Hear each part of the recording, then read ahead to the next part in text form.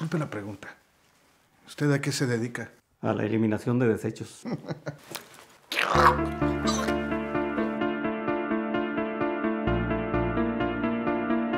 Esta será una de las misiones más difíciles a las que te enfrentarás.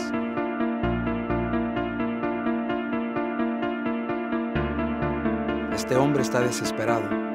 Necesita ayuda. Hay un rancherito que no me quiere vender su terreno.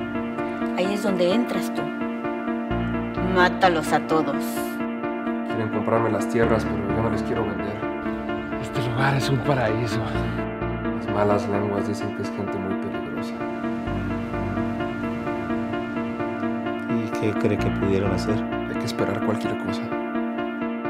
En la vida estamos solamente de paso. En realidad lo que creemos que es nuestro, no es nuestro.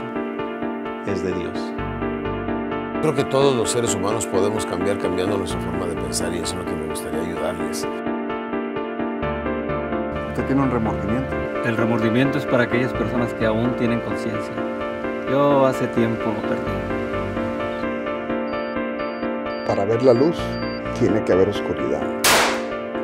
Para disfrutar de la paz tiene que haber guerra. Este mundo no es perfecto.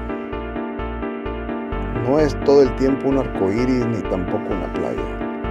La vida te va a tumbar y te pondrás de rodillas. Pero de ti depende que te levantes, que te pongas de pie. Con esa fuerza de voluntad que Dios te dio. Dios está en ti.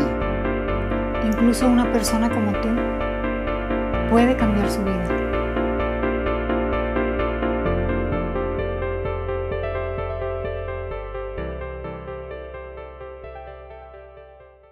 Cuando una persona llega al fondo, el único lugar que tiene para ir es hacia arriba.